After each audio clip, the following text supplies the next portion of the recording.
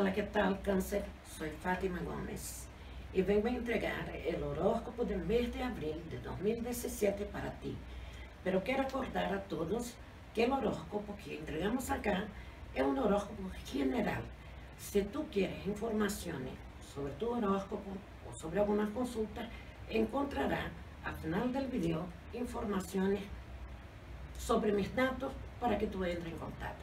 Bueno, cáncer, vamos a ver los puntos importantes dentro de la vida amorosa, de tu vida de trabajo y la salud.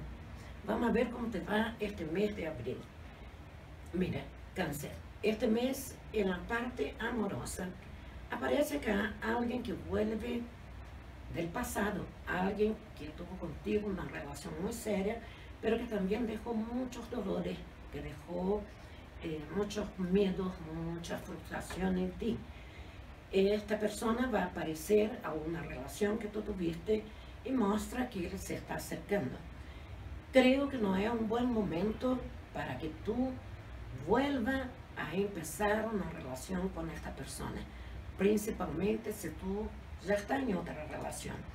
Es una persona que obviamente te marcó mucho, que tuviste una historia importante con él pero que también tuviste muchas lágrimas, muchos miedos, muchas ansiedades, mucha angustia, muchas dificultades.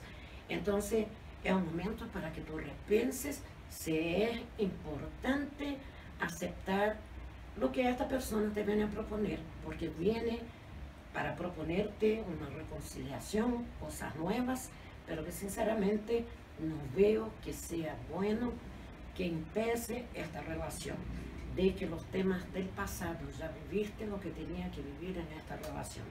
Y si tú estás sola, es momento de empezar a buscar a tu alma gemela.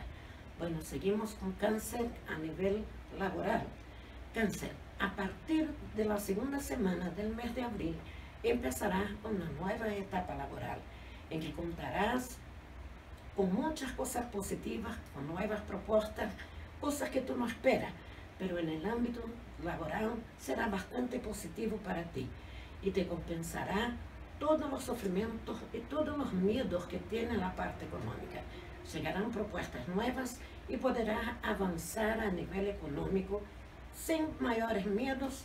Es un momento de estar tranquilo y de poner a nivel de tu trabajo toda tu capacidad, todo tu conocimiento, porque vienen etapas nuevas y a mi parecer que son muy buenas. A nivel de salud, será un mes un poco complicado. ¿Por qué? Porque andas cansado. Tiene trabajado mucho, ha dormido poco, está durmiendo mal y necesita recuperar, recomponer su energía. Necesita cuidar su alimentación, hacer una dieta sería bastante saludable para ti, para adelgazar también un poco estos kilos que están demasiados y evitar tener problemas a nivel de colesterol, cuidar también la parte de, diabetes.